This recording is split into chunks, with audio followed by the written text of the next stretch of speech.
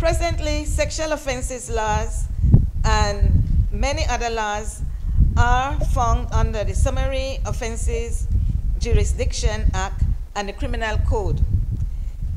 The proposed sexual offenses bill aims at one comprehensive document with all the laws regarding to what sexual conduct is criminalized, criminalized in Belize.